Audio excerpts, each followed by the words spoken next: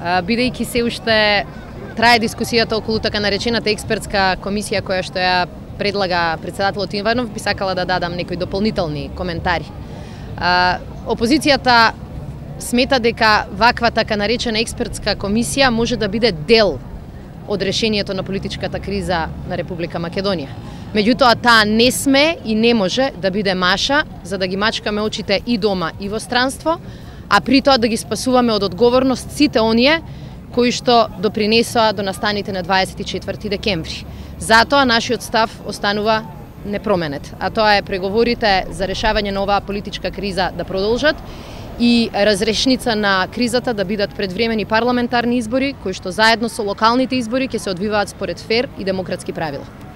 Не сметате дека може дополнително да помогне таа експертска комисија за решавање на ситуацијата паралелно Токму тоа го кажав. Со, со вашите барања да, за предвремени избори? Токму тоа го кажав. А, одредена експертска и на вистина независна комисија би можела да биде дел од решението. Но не може се да сведеме на ваквите напори да се замачкаат очи и на домашната и на странската јавност. До кога ќе отсутствувате од парламентот? Па тоа мислам дека веќе нема потреба да го одговарам, додека не се најде решение на оваа политичка криза. Решението го гледаме во организирање на предвремени парламентарни избори, кои што ќе се организираат заедно со локалните избори, а при тоа ќе се задржат правилата на фер и демократски а, спроведување, правила на спроведување на изборите. А, факт е дека дека предлозите кои што се даваат се и такви кои што може да ги коментираме дополнително. Например, никој во Македонија нема илузии дека Трајко Велјановски ќе предложи независен или невамаровски кадар. Исто така никој во јавноста нема илузии дека и председателот Иванов ќе предложи независен и невамаровски кадар.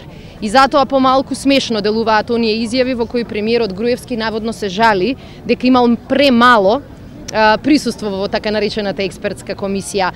Сето тоа, велам, изгледа само како неуспешен обид, брзо-брзо да се замачкаат очите и дома и во странство и многу брзо да се избега од одговорноста за тоа кој всушност стоеше зад настаните на 24 декември. Избори локални или било какви, без опозиција нема да бидат избори. Тие ќе бидат срам, кој што ќе биде резултат на стравот и тврдоглавоста на премиерот Груевски. Македонија во тој случај нема да излезе во политичка криза, туку ќе навлезе во многу посериозна и политичка, и социјална, и секаква можна криза.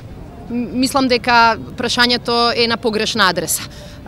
Во последниве неколку месеци слушаме информации дека преговорите се, како што велат, во зрела фаза, дека двете страни покажале подготвеност да прифатат некое решение кое што предлага Нимит, го предлага Нимиц, и при тоа од нашата македонска влада добиваме едно единствено, а тоа е молк.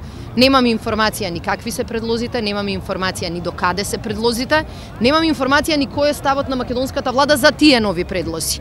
А, се разбира дека може еден дел од тие теми да се задржат и во дискреција.